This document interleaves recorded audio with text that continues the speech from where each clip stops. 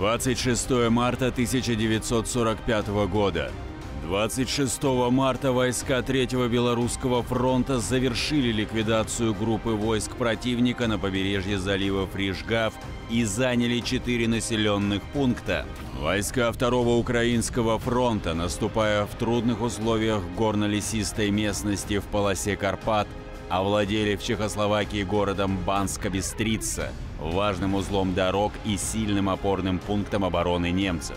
За 26 марта на всех фронтах подбито и уничтожено 179 немецких танков и самоходных орудий. В воздушных боях и огнем зенитной артиллерии сбито 37 самолетов противника.